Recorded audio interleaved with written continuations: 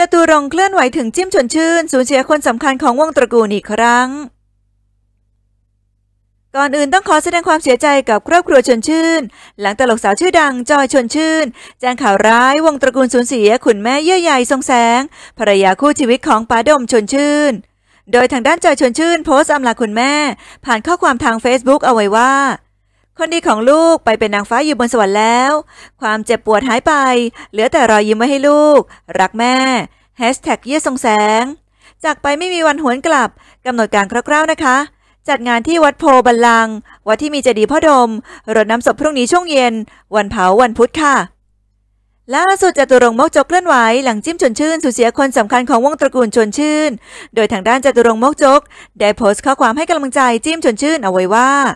ไม่มีเพื่อนคนไหนตายแทนกันได้หรอก และมึงกับกูก็ตายแทนกันไม่ได้ ไอที่พูดพูดกัน ถึงเวลามันก็ทำหรอก แต่มึงคือคนที่ครบมาเกือบ40ปี แล้วกูรู้สึกว่า